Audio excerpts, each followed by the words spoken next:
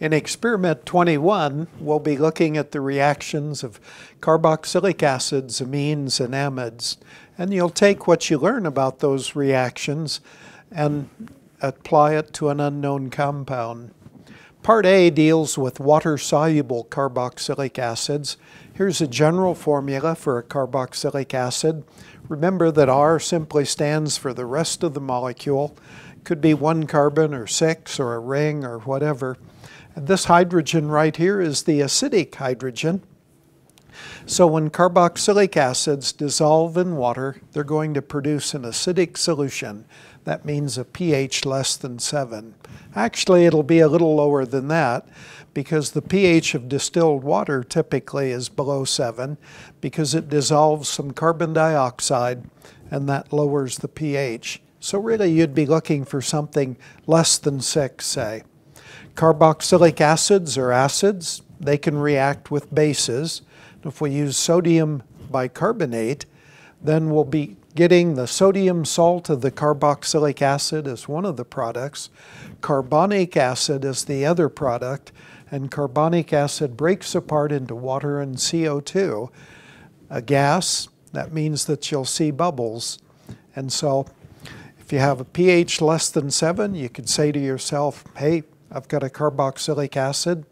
And if you see bubbles when you treat the carboxylic acid or treat the compound with sodium bicarbonate, that's a good indication too that you've got a carboxylic acid.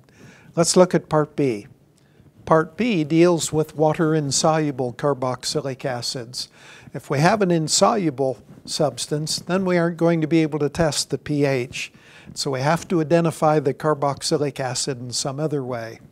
Well, remember that acids react with bases, and in this case we get the sodium salt of a carboxylic acid, a much more ionic material than what we started with, and these sodium salts are usually water soluble.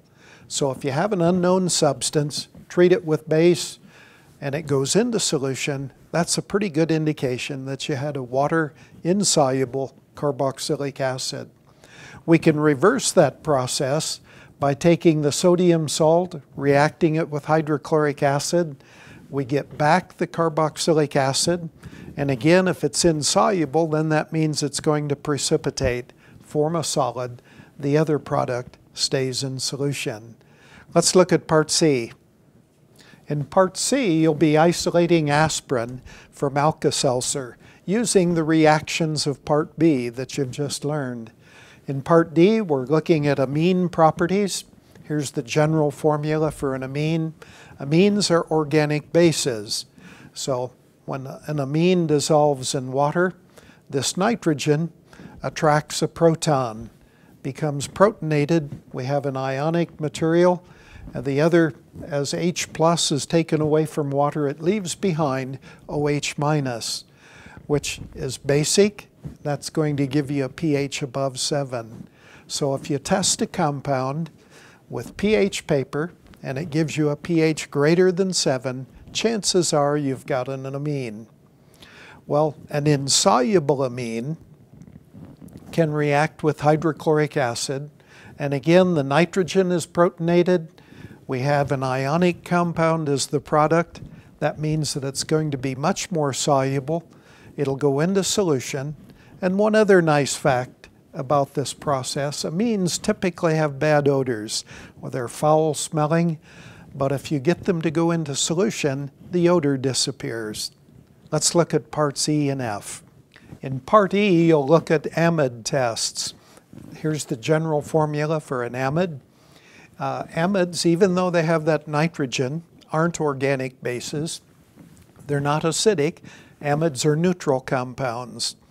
So in that way, you can separate them from uh, amines and carboxylic acids.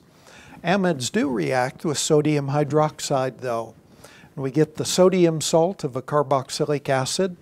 If it's a simple amide like this one, where the nitrogen is not substituted, then you'll get ammonia as, a, as one of the products. And ammonia is a base, as you know. It'll call, cause red litmus to turn blue. So you'll be able to identify it in that way. Then you'll take what you know about these reactions in part F and carry out the saponification of benzamide.